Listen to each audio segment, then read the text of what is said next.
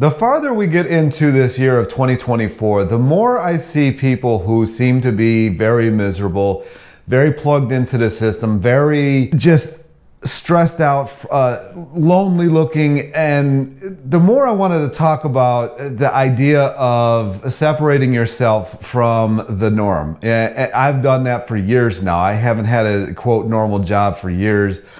Uh, I've technically, I guess, still had the post office job. We're still what, seeing what happens with that. But the more I realize how little you really need to get by, like it's not it's not like I, I'm homeless. I mean, I got a nice house. I got a three bedroom house. I got you know I got everything that I need, everything that I could possibly look for. Uh, you know, in that manner. And the more I realize how little it actually requires of me to make that happen.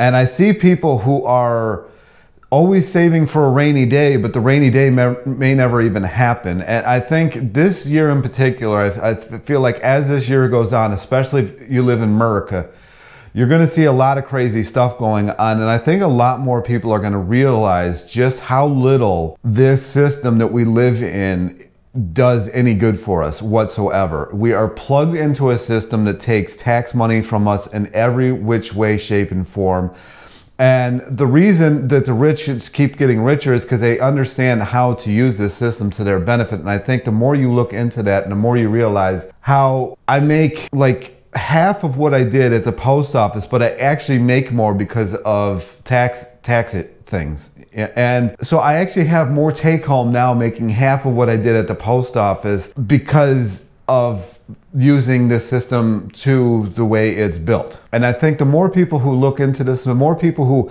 use that, and we're all creators uh, on this planet. Everything's creation. You know, we're all here to create something and help other people with that creation that we have created. Now, it doesn't mean that you have to make your entire living off this create, creativity, but it doesn't mean that you can't either. So I, I, think that more people who actually like, what did you do as a kid that you always loved, or what do you what do you think about now when you when you're thinking of something that makes you happy? Uh, and, and you know whatever that might be. Now, like sex, I, I, don't think everybody wants to go out and be a porn star or anything like that. So if you say something along those lines, maybe that's not going to work. But if you say, I don't know, like I said, I knew this guy who was like really into apples and apple orchards and and just knew everything about apples, everything that you could possibly know about apples. He knew how to do everything, can them, cook them, grow them, had plenty of trees but he worked at the post office and i'm like why are you doing this? I said you've got a farm. I said you, you've got all this knowledge with apples and yet you come to a job that you hate. I mean he complained about it every day. He hated this job. It's not like he liked it. If he liked it i could see it you know that, that being fine. And he's like well it's a safe route. I said nothing is a safe route. I said anything could happen on any day. We're not guaranteed anything more than the time that we're in right now. Why not just go spend it with your apples because he was working however many hours he worked at the post office and then he was going home and he was working all those hours at this apple orchard that he had. I said, You could just be working at the apple orchard. I said, You sell these apples, right? And he's like, Yeah. I said, Why not just make this a full time? Why not put a bakery or something like that on your property and, uh, and you know, or sell canned and, and make apple butters and stuff like that? I mean, it was this was back in when I lived in uh, East Pennsylvania, and there was a lot of that going on over there. You know, it's uh, uh, in the just north of Philadelphia or Philly, and he couldn't do it. And I've met so many people like this that just they had such a passion for something, and I'm almost jealous of that because I don't. I, I'm good at almost everything I touch. And most people get irritated with me. They're like, you can draw this good, you can photograph this good, you can do this this good, and you just don't do any of it. So it's almost like I watch I watch people who are so good at just one thing. And most of the people who I know who are extremely successful and live the life of their dreams are only good at like one thing and they just do that one thing. I think those of us who are good at most multiple things are the ones that get hung up on on life and and everything, you know, that it has to maybe offer and maybe not offer, depending on which way you look at it. As we head into this year, I think it would be a real beneficial thing for everybody to look at what they're actually good at and see if they could just at least let that into their life for a little while. And if you let it into your life for a little while, can you get it to a point where it is something that could sustain you financially. And you don't, here's the thing, like you put something out there, you just say like, I don't know, for an example, you might be a writer and you just say, every morning when you wake up, you just say, I am a writer, I am a writer, I am a writer. Or you, you know, you might like writing music. So every morning when you wake up, look in the mirror and say, I am a musician, I am a writer, I am a photographer, whatever it is, I am a video maker, I am a, and you fill in the blank because I am is a very powerful statement. It's it's a statement of creation. And if you look at the bible when they when someone asked who god was eh, he just said i am who i am. And if you use those exact words you can actually sit there in like a meditation and say i am i am i am. And you'll start seeing uh, you'll start feeling like this energy around that. And you just start saying i am a creator, I am a writer, I am whatever that, that might be. And your world will start building around. A lot of people get caught up in the how's this going to happen? How's this going to work? What am I going to do with this? How am I going to do this? They overthink everything. The reason I know that is because I've done it myself. But the less of that you actually do, and the more you actually just do what you want to do, you notice that things come into fruition that you didn't even know were, was possible. Like, for example, when I ran my photography studio, I told this story in a couple videos ago. I didn't even pay for my own studio. I didn't even, I just had the thought, I said, I'm a photographer. I, you know, I was out, I was out in the field. I was, I would find, you know, different models and stuff like that. And we would go do just different things out, uh, out in the, in the world. Right. And I got tired of that because I live in an area that like right now it's not snowing, but it's like 20 degrees, you know, 25 degrees outside. So not too many models feel like working out in that, and I don't feel like working on that. And batteries die quicker, and it's just pain in the ass. So I started putting it out there. I said, you know, I am a photographer. I'm gonna have a studio. And a guy that I worked with at one of the insurance companies that I worked at, who had money, he came up to me. He's like, you know, I've seen what you do. He's like, you're really good. You shouldn't even be doing this. You should be doing photography. Why don't I help you rent out a studio? I said, okay. So I said, I know, I know a few guys here. I'll talk to another couple people. And I actually worked at a camera store at that time. So down, down in the city. And, um, I, I, came across a lot of people. So I, I, came across this guy, I talked to him. I said, I, I really need a studio to rent out. And it, it, all worked out and the guy paid for it and everything like that. And I, I was at the studio all the time. And at that time, I really didn't have any models or anything like that. I really didn't have any anybody to you know to photograph. And then I told the story, you know, a couple videos ago that my buddy, who was a model at the time, was like, you know, I've got this friend. Um, you may have met her, uh, you know, uh, one of these times. You know, we hung out, and I hadn't actually.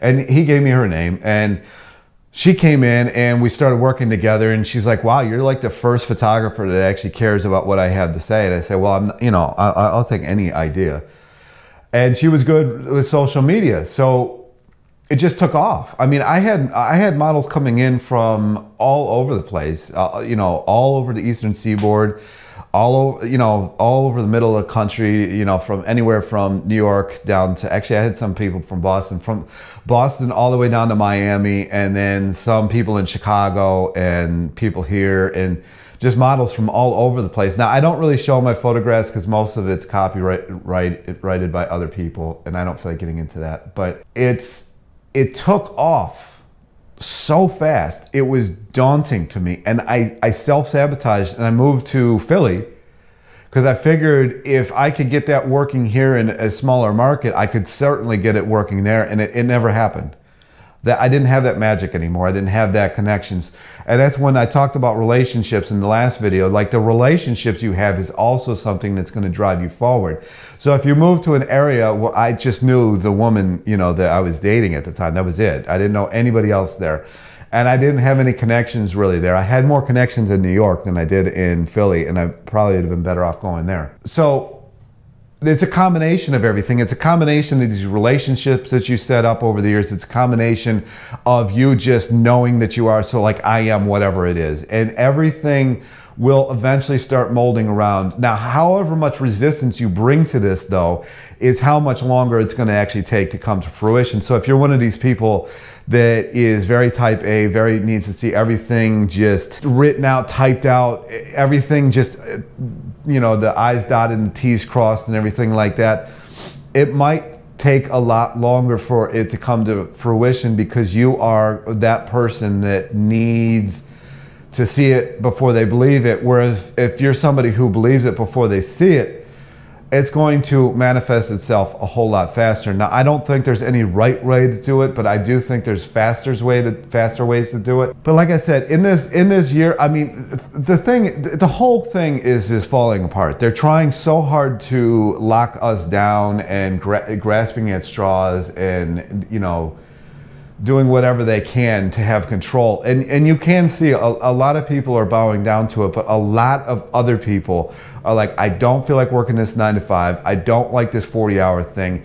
I'm working this 40 hours over here and it's still not paying for my bills, right? I'm struggling. I got to work two jobs and I got to do this. Meanwhile, they got this other talent. Like uh, one of the people my sister knows, uh, she just happened to make um, some kind of like I forget what it was. It was around, around weddings. She was making like personalized like invitation letters or something. I, I don't know. I had something. It was something along those lines. And she just happened to post it on TikTok, and she just did this stuff in her spare time, and it took off. Right? It, it got it went viral, and now she's making like twenty five or thirty thousand dollars a month just off.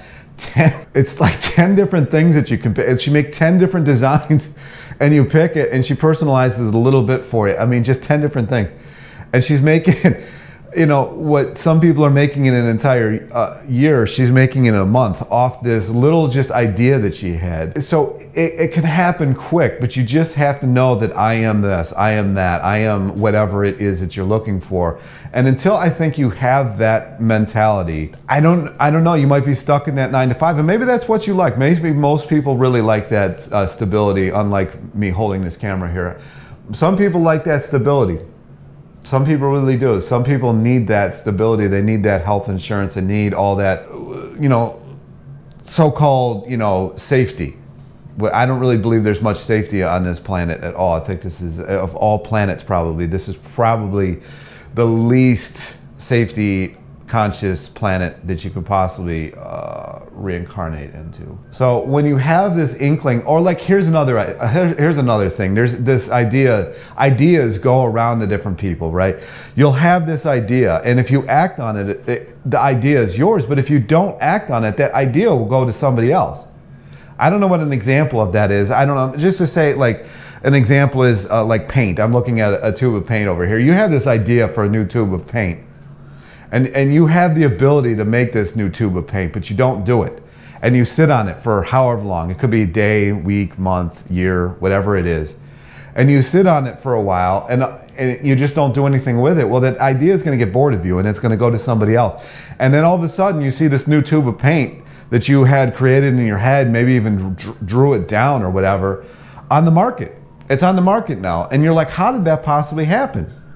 Or like, if you ever noticed how like there's scientific studies that have been been found over the years that what is going on out here that like multiple people have at the same time and they wouldn't even have connection to each other. The excitement in a small town here. Uh oh, jab jab jab brew. but yeah, think about this. Like, I think everybody has gone through it. Everybody's had this idea that somebody else at some point did because you didn't take the idea. You were given the idea, you were chosen. And sometimes the idea is not right. Sometimes it's just not right for you. But if it is, if you really have that inclination to go for it, what's the worst that you could lose, man? Uh, you know, like maybe a, a, bit of money or a bit of time or something like that. But what's what could you gain out of that? I think that's what you have to ask yourself. This could even be, uh, you know, diet. Like I get a lot of people coming into my channel and they're like, "Well, I haven't seen a scientific study that blah, blah, blah, blah, blah, blah, blah. Instead of like looking for five months at scientific studies to figure out what diet you should eat, you could just try that diet and see if it worked. Be your own study instead of looking at everybody else's. Yeah, it, it, it cracks me up because you get The same people who want the scientific study are the same people who will come into the comment section and say, well, everybody's an individual and it all, and, and no one thing works for anybody. But the same person wants a scientific study on a mass population that worked for them is also going to tell you that everybody's different. So what's the point of reading that study? Be your own study. And that's, it, that's in any aspect of life no matter what the, the topic is. Be your own study. Because if you're not, you're going to be watching other people in this study. Did it work for them? Great. If not, great. But you could have figured that out for yourself. And if you're already fat, you only can go down. And if you go up a little bit, you're already fat in the first place. So you, you just became more of what you already are. I think that's all I have to say on this whole thing. This idea, uh, this idea of this video came to me this morning and I decided to put it into fruition. There has been, you know, there has been videos that I've I had ideas on and didn't put uh, put out there, and I've seen other people do it. Not that you can't do your own version of it. And I here's another thing: is plagiarism isn't a very good thing, but taking example of i mean if even when you watch movies or stuff like that there is no movie scene that hasn't been somewhat already done there's no whatever you can think of. There's a vacuum sitting on, on this floor right here. There is vacuums already out there, but if you wanted to create a vacuum, it's already been done, but maybe you have a different variation of it that would help you out or people out. So your idea is almost 100% likely already been done, but you put your own spin on it. You know, so a lot of people get apprehensive there. Well, like, oh, well, it's already been done. Nobody's going to want mine. I mean, just think about it. Coca-Cola, actually, I think RC Cola came out before Coca-Cola, and then Coca-Cola came out, and then Pepsi-Cola came out.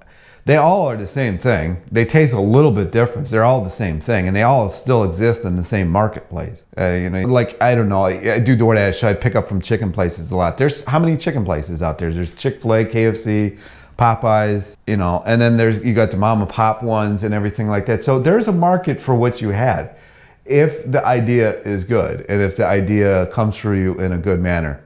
And if it doesn't, you know, at least you tried.